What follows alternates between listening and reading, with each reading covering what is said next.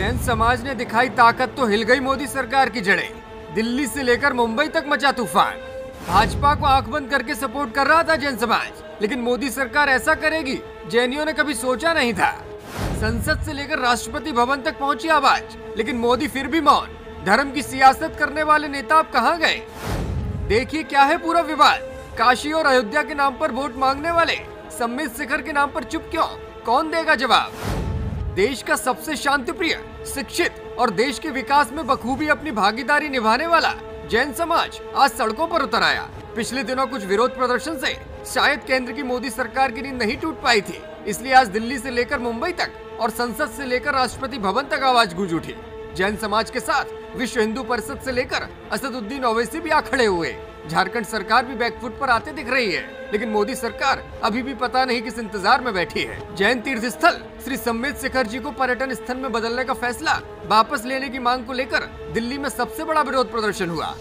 दिल्ली में जैन समाज के हज़ारों लाखों लोग प्रगति मैदान पर इकट्ठे हुए और इंडिया गेट की ओर कूच कर गए। झारखंड और केंद्र सरकार के फैसले के खिलाफ राष्ट्रपति भवन पहुंचकर ज्ञापन भी दिया। देश की आर्थिक राजधानी मुंबई में भी लोग विरोध प्रदर्शन करते नज़र आए। महाराष्ट्र सरकार में मंत्री एमपी लोड़ा ने जैन समाज की मांगों का समर्थन किया और बताया कि आज पाँच लाख लोग मुंबई की सड़कों पर उतरे हैं। केंद्र सरकार और झारखंड सरकार को तुरंत समाधान करना चाहिए। यहाँ तक कि सांसद असदुद्दीन ओवैसी ने भी जैन समाज का समर्थन कर दिया।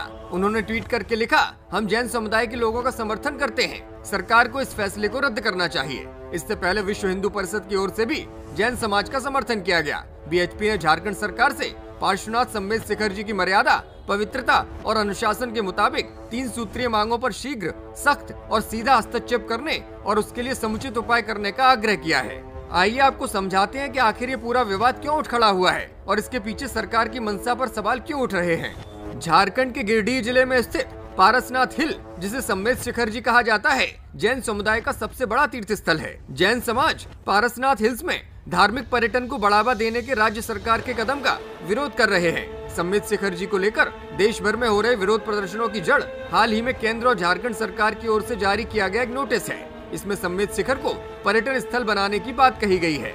जैन समाज के लोगों ने सरकारों की ओर से जारी नोटिस को अपनी धार्मिक भावनाओं पर कुठाराघात बताते हुए इसके विरोध में मोर्चा खोल दिया है। जैन धर्म के लोग कह रहे हैं कि इसे पर्यटन क्षेत्र अगर बनाया जाता है तो पर्यटकों के आने की वजह से यहाँ मांस और शराब का सेवन भी किया जाएगा। अहिंसक जैन समाज के लिए अपने पवित्र तीर्थ स्थल पर ऐसे कार्य असहनीय है। सरकार की ओर से जारी की गई अधिसूचना में मछली और मुर्गी पालन के लिए भी अनुमति दे दी गई है। छोटे उद्योगों को बढ़ावा देने की बात कही गई है।